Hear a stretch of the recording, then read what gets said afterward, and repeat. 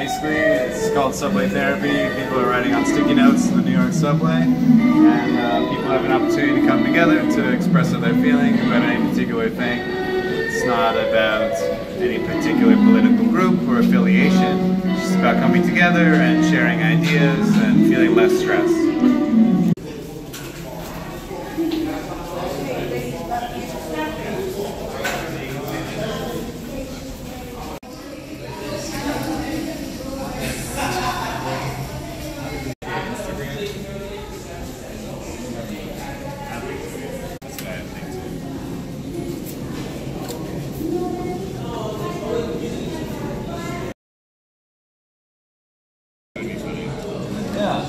And make it established every level.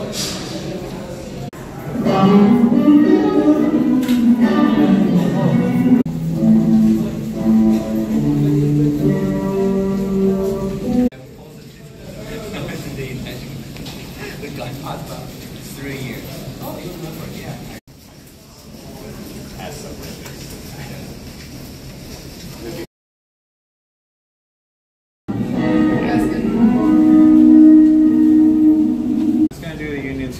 I probably wouldn't won't start that until tomorrow if I do it there.